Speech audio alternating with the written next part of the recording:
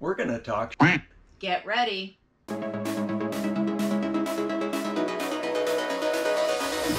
Welcome to the channel. I'm Liz. And I'm Paul. And these are exciting times to push past fear, build confidence, and live amazing.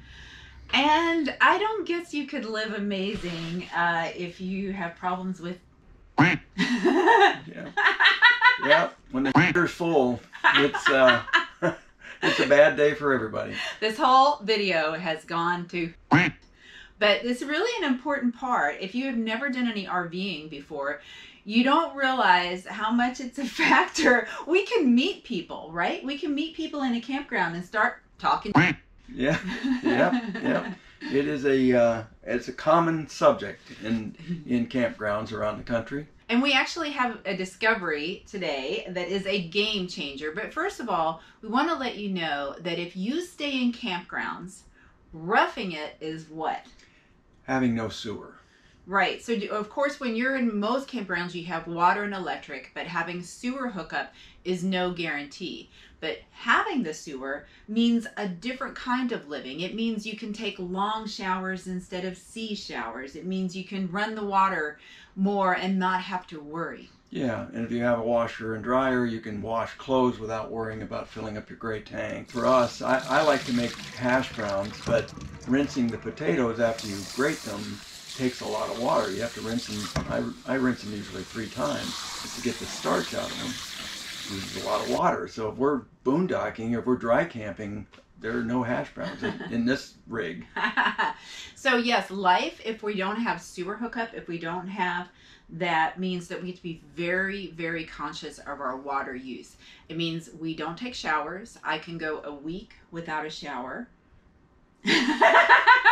it's true. And there are things that we say, for instance, if it's yellow, be mellow. I mean, I mean it's pretty gross, but you just have to just watch every drop of water.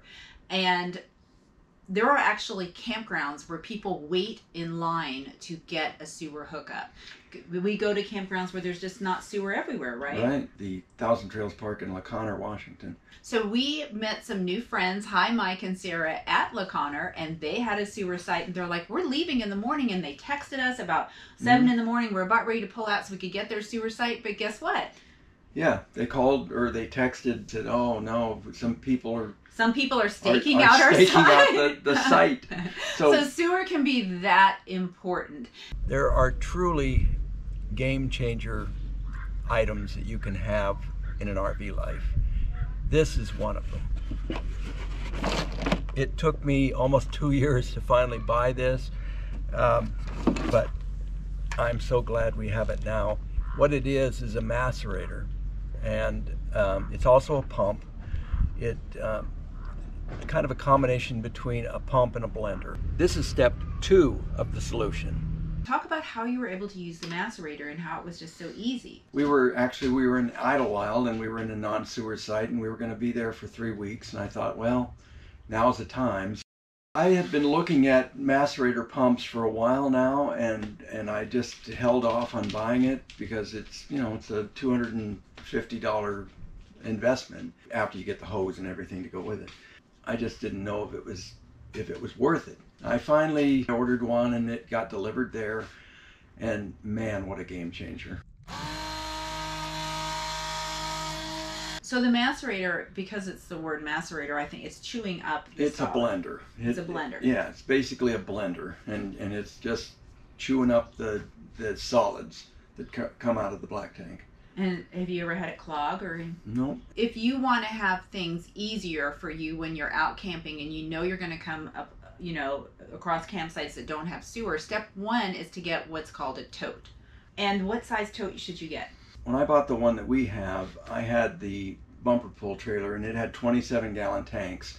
So I got one as close to that as I could get as far as capacity so that I wouldn't have to worry about overfilling. you don't want. You don't want to overfill your you black tank. Or, uh, tote with black water. No, um, no, because then you'll have everywhere. Yes, you will. Yeah, yeah. So I got a 28 gallon tote. You got to consider size. We have 50 gallon tanks. If I want to clear all of our tanks, it's going to be two or three trips to the to right. the dump let's station. back up. All right, so let's back up.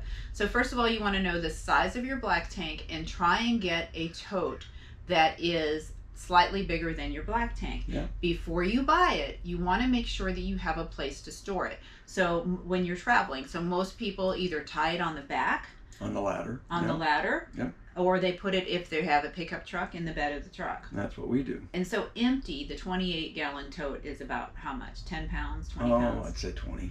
20 pounds. So that's the other thing. You know, it's a big, bulky thing. If you're buying a 50 gallon one, it could be 30 pounds, right? Yeah. So you yeah. want to make sure you can handle that. And it's okay to buy a tote that's smaller than your tank because we have one. You just have to be a little more aware of how quickly it's filling.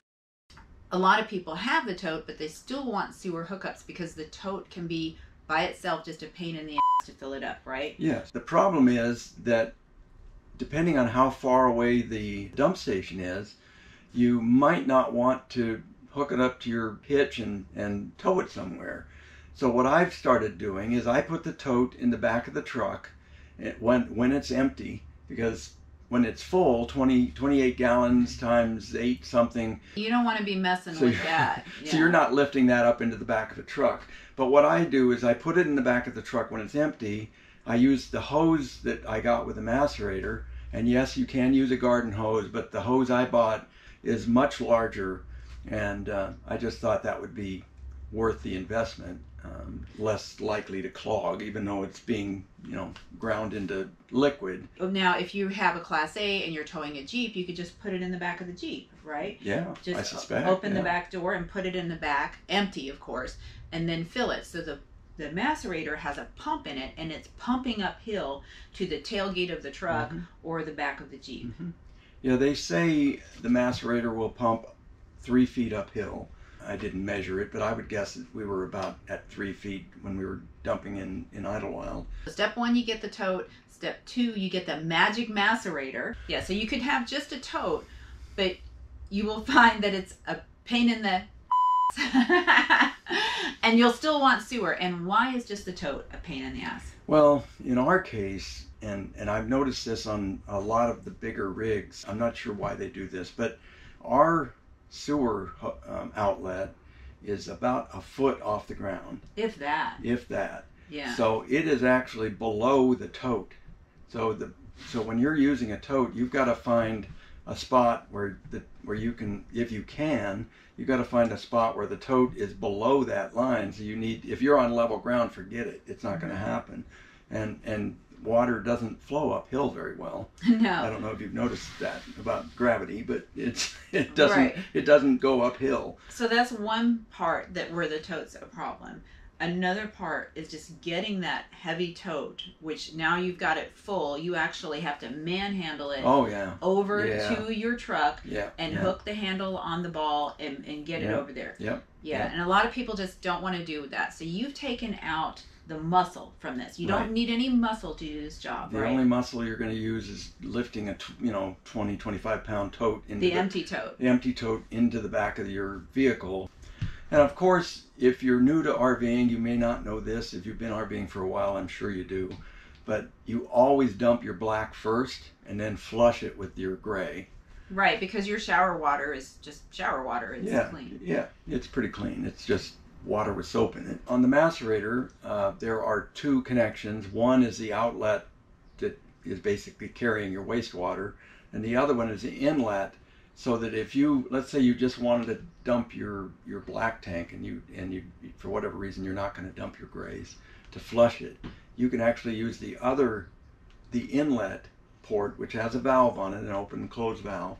You can turn the water on, open that ball valve, and it will flush the macerator because you certainly don't want to take the macerator off and have black water dump all over the ground and all over yourself. So this answer is not for everyone, but it's certainly helpful because you have to do this like once a week for the two of us living here, Mm-hmm. and that's about an hour probably. Yeah, I'd say an hour. Yeah, I would still rather have a sewer, Right. but I don't. I'm not going to pick a site just because of the sewer issue. Yeah, if you look at some of these RV sites online, like the the um, forums and stuff, there'll occasionally be this question: What would you choose, a gorgeous site or sewer hookups? Would you want the view, Or do you want the sewer connection?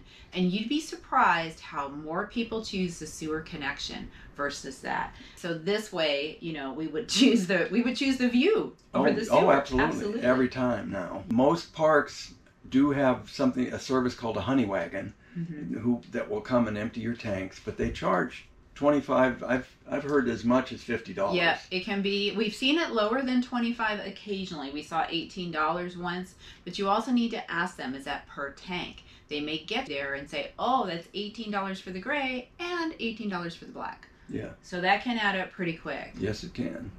Just to be clear, we're not advocating that you waste water at all, but we prefer to shower more than once a week, but we definitely shower less when we are. Right.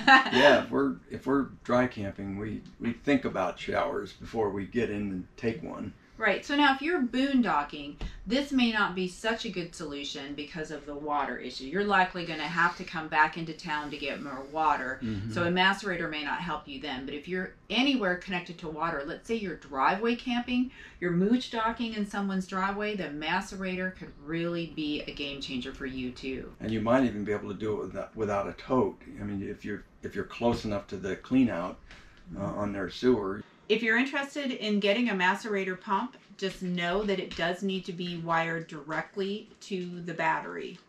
Liz doesn't want me to get too technical here, but it's a 20 amp dedicated circuit, uh, which means that you're going to have to run at least 12 gauge wire. I use 10 because that's what I had, uh, but 12 gauge will suffice. By using the link below, you won't pay any extra, but you will be helping support our channel. And thank you. So tell us your stories. Talk to us in the comments. We want to hear your tips. So the power button to the macerator looks just a little scary, don't you think? I wonder what will happen when I push it.